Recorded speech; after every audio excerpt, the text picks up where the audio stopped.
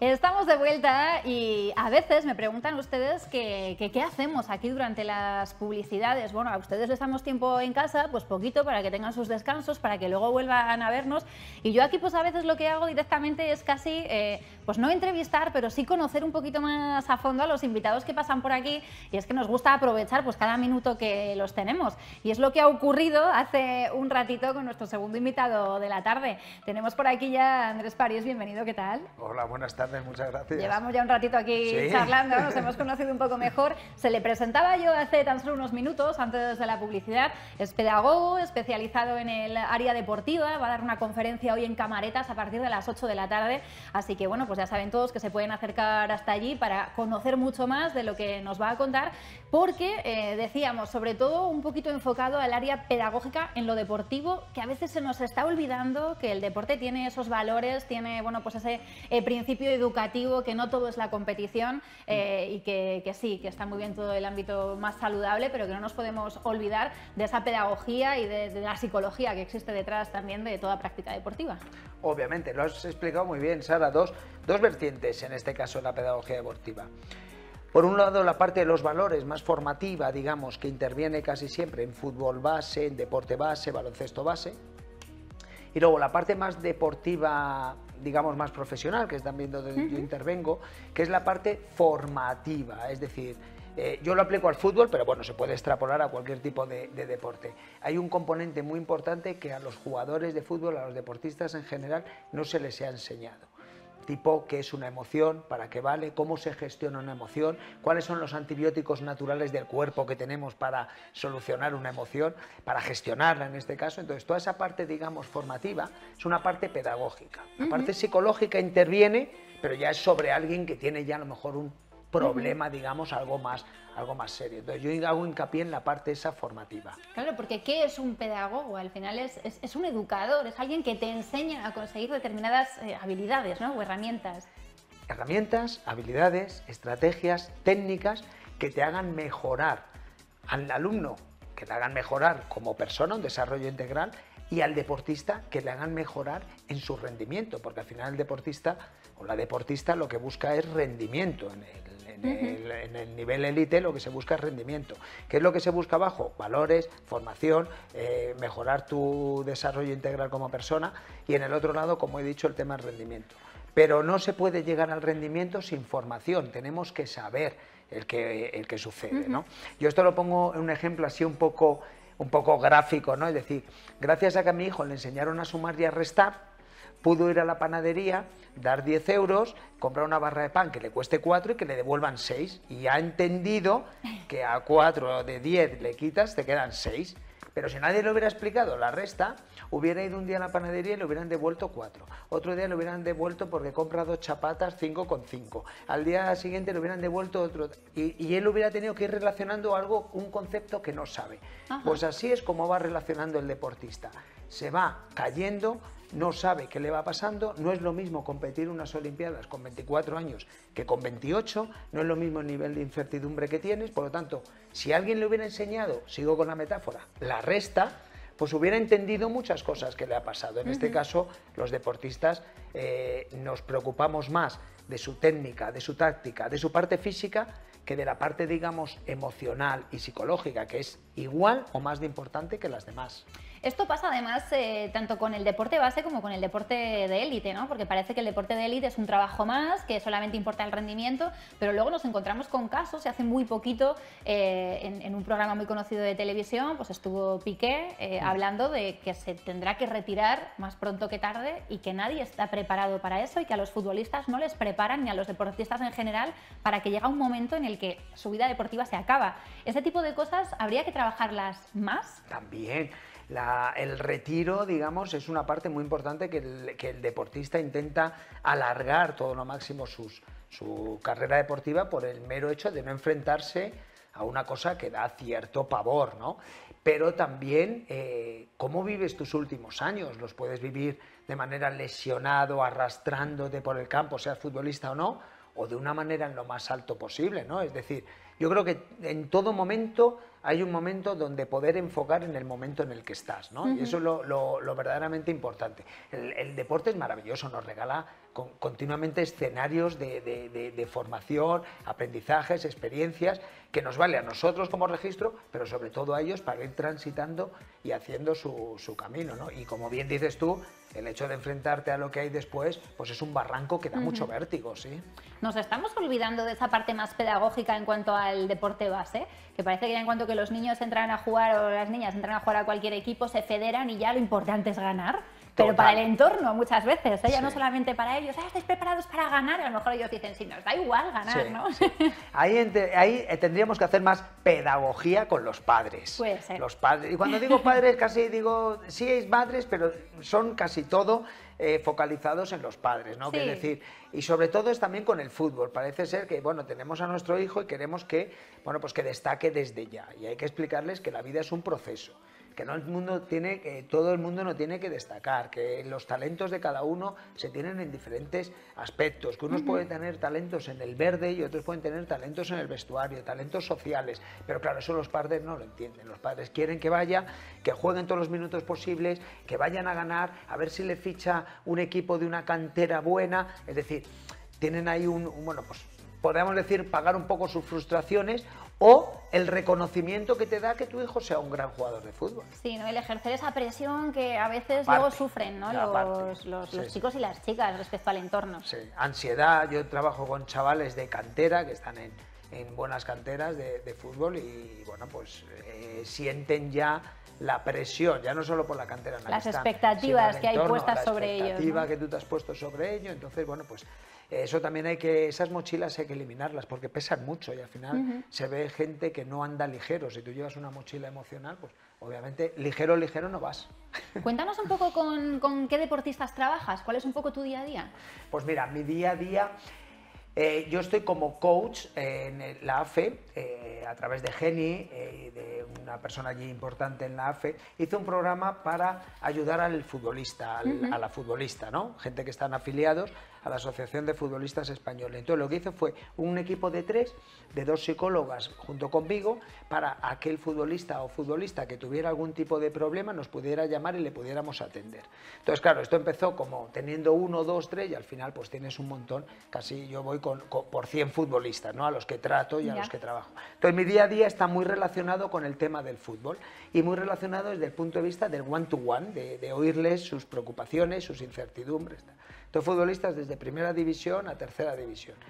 Y lo digo desde aquí, lo digo a cámara, son exactamente los mismos problemas los que tienen los de primera división que los que tienen los de tercera división. Uno tiene miedo e incertidumbre para jugar, imagínate, mañana va a jugar contra el Betis y el otro tiene miedo e incertidumbre porque mañana va a jugar contra el Alcira o contra el Alcoyano. Exactamente lo mismo, no hay ningún tipo de... O sea, eh, las emociones no entienden de categorías, entienden de miedos, de incertidumbres y de gestión.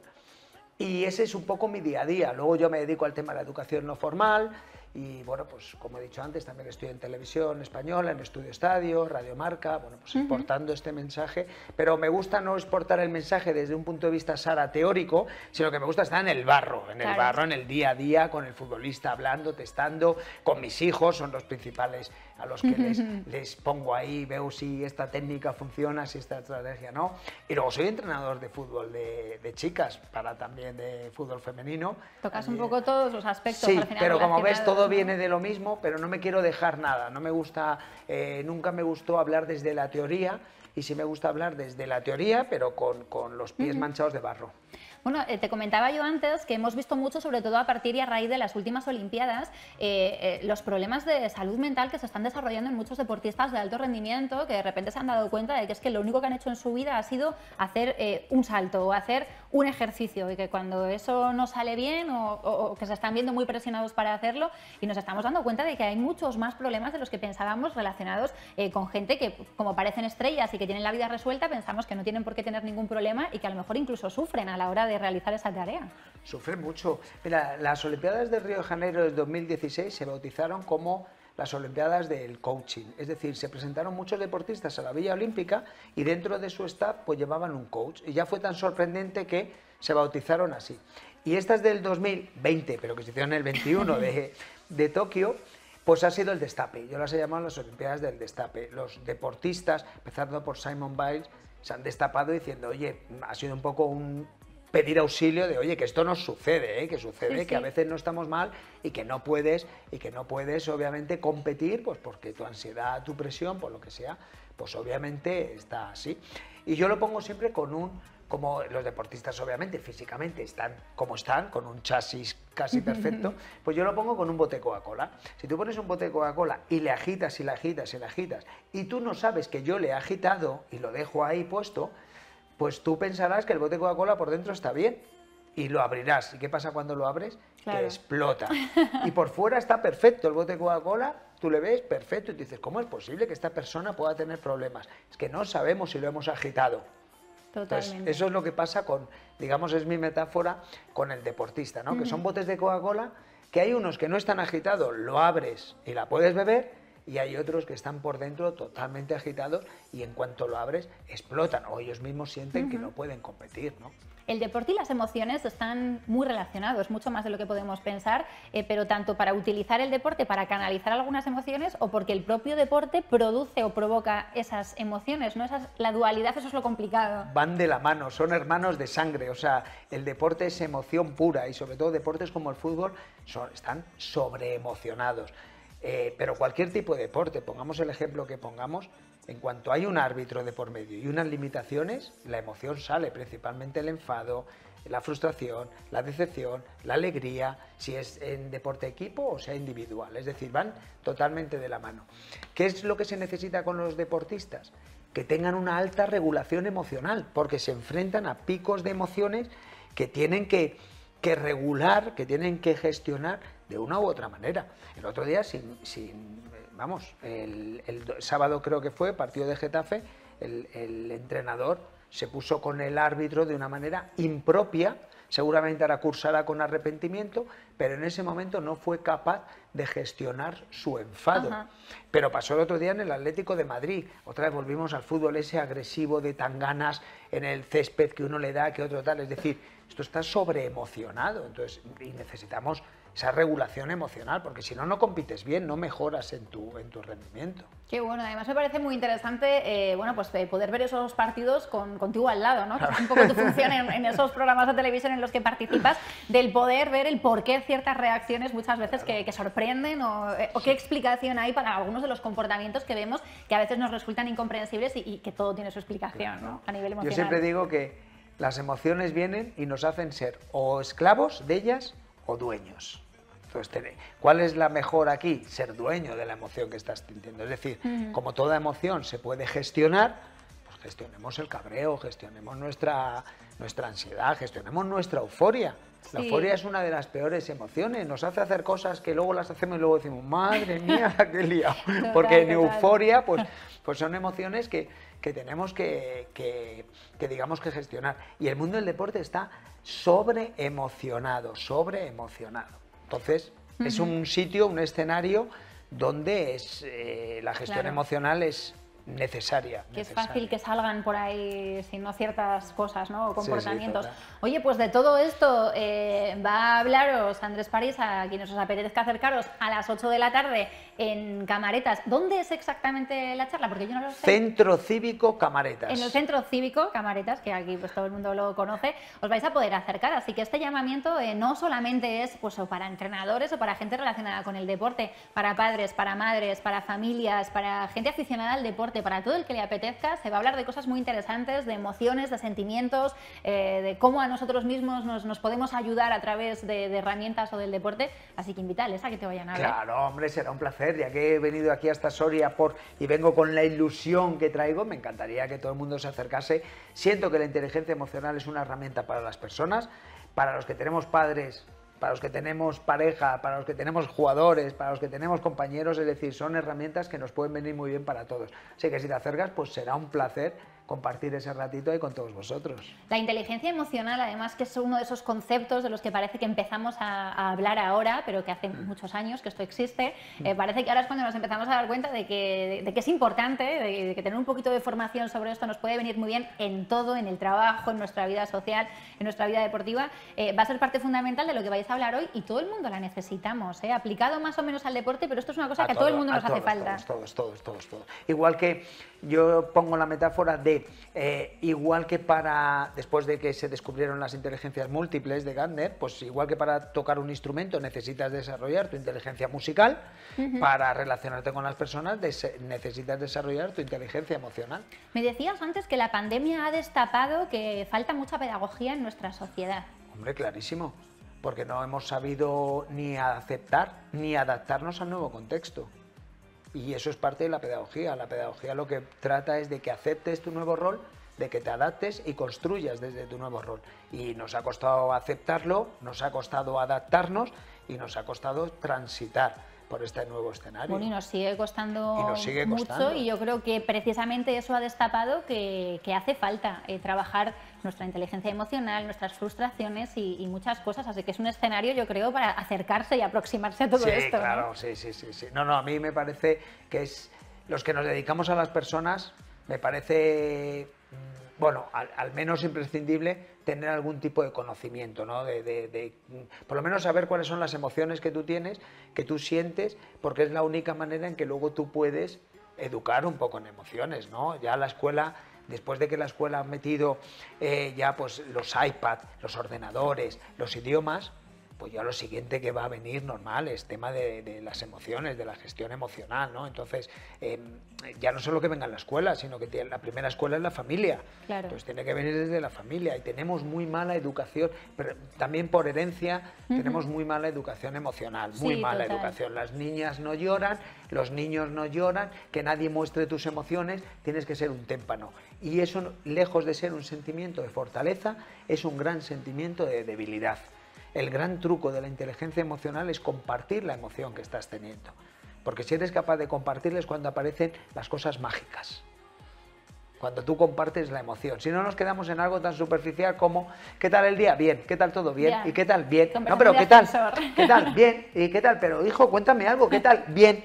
Y, y, nos quedamos en eso, pero si hiciéramos una reflexión o una pregunta un poquito más de sentimiento de ¿Cómo te sientes hoy? ¿Cómo te has sentido? ¿Cuál ha sido la emoción que más se ha repetido? ¿Cuál ha sido la emoción hoy que te ha hecho hacer tal o cual cosa? Porque la palabra emoción viene de emoción, de movimiento. La emoción es para hacer algo.